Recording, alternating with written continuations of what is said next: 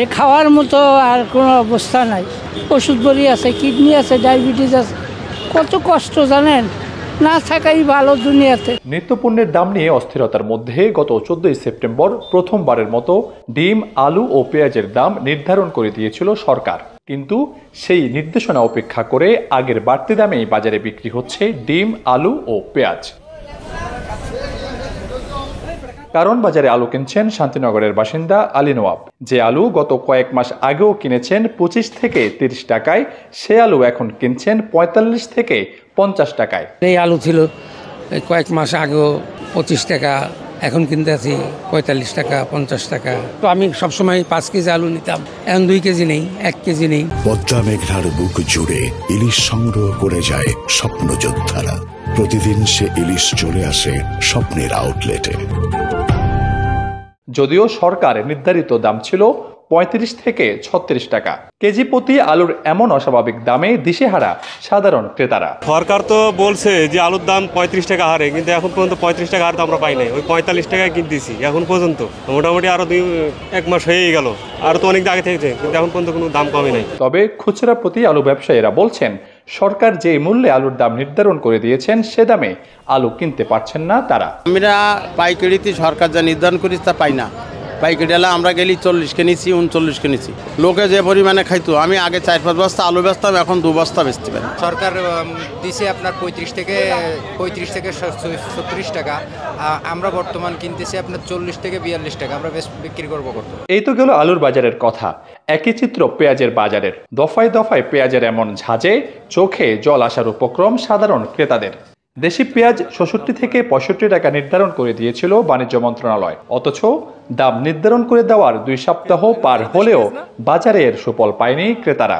বরং কেজি প্রতি দেশি পেঁয়াজ বিক্রি হচ্ছে আশি থেকে নব্বই টাকায়। পেঁয়াজের দামটা এখন একটু বেশি হইয়া আপনার ওই গিয়া যে বাজেট ছিল আগে, আমরা তো মধ্যবিত্ত বুঝে নিত অল্প টাকা বেতনে চাকরি করি। মাস শেষে যা বেতন পাই, এই বাজার করতে এলে আপনার পেঁয়াজ, আলু, তারপরে রসুন, আদা কিনলেই সব শেষ হয়ে যায়। ব্যবসায়ীরা যেভাবে কেনে তারা সেইভাবে তো বিক্রি করবে। তারা তো আমদানি করতেছে সেভাবে বিক্রি করবে। আর দেখা যাচ্ছে তারা আমদানিতে যদি টাকা বেশি টাকা দিয়ে কেনে তাদের তো বেশি টাকা দিয়ে কিনতে হবে বিক্রি করতে হবে। আর এটা তো সরকার শুধু দু এক জায়গা দেখায় এই সরকার কিন্তু এটা বাস্তবে তো পরিচালনা এবং এটা ঠিকমতো করে না। এইভাবে ফ্যাস ভালো ফ্যাস পাওয়া যায় না। একটা নর্মাল ফ্যাস কিনতে গেলে হ্যাঁ খাওয়া যায় না তরকারি। সরকার যে রেট সেটা আমি না পাইতেছি না। তবে ভিন্ন কথা বলছেন ব্যবসায়ীরা। তারা বলছেন পেঁয়াজের উৎপাদন ও আমদানি কম থাকায় কিছুটা বাড়তি দামে বিক্রি করছেন পেঁয়াজ। পেঁয়াজ বাজারে একটু আমদানি কম তাই একটু দাম বেশি। অনেক এক মাসে পাঁচ টাকা দশ পাঁচ টাকা দশ টাকা বাড়তে বাড়তে এখন পেঁয়াজ পঁচাত্তর টাকা পাইকারি হয়ে গেছে। উৎপাদন তো যাওয়ার কাম আগে হয়েছে ওখান মনে করেন যে পেঁয়াজ এটা যার যতটি কিনে রাখছে আস্তে ধীরে ব্যস্ত আছে। ওখান তো আর সিজন না যা কেনার কাম আগেই কিনছে। ওখান তো আর সিজন না মনে করেন আমদানি একদম কম উৎপাদন কম মনে করেন এই দাম এরকমই। এটা তো দীর্ঘ কয়েকদিন ধরে বাজার বেশি।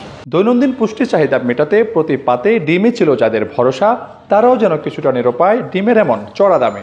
সরকার নির্ধারিত প্রতি পিস ডিমের দাম বারো টাকা থাকলেও তা বিক্রি হচ্ছে তেরো টাকায় আর প্রতিহালি ডিম বিক্রি হচ্ছে পঞ্চাশ টাকায়। এ খাওয়ার মতো আর কোনো অবস্থা নাই।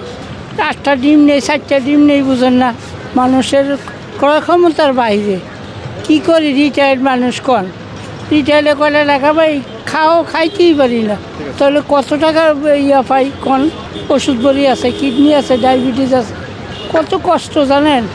না থাকাই ভালো দুনিয়াতে। এই ডিমের দাম বাড়তি হওয়ার কারণে মোটামুটি আগে যদি আমি মনে করেন যে সে সপ্তাহে চার হালি কিনছি এখন সপ্তাহে হয়তো এক হালি কিনি আর কি। যদিও ব্যবসায়ীরা বলছেন ডিমের দাম আগের তুলনায় অনেকটাই কম। বাজারে এখন ডিমের দাম আগের থেকে অনেক কম তবে ডিমের চাহিদাও কম। বাজারে ডিমের দাম মানে আগের থেকে অনেক একটু কম। বাজারের এমন পরিস্থিতিতে ক্ষোভ প্রকাশ করছেন সাধারণ ক্রেতারা। তারা বলছেন সরকার যে দাম নির্ধারণ করে দিয়েছে এর সুফল পাচ্ছেন না তারা। এখনও বাড়তি দাম দিয়ে কিনতে হচ্ছে ডিম আলু পেঁয়াজ।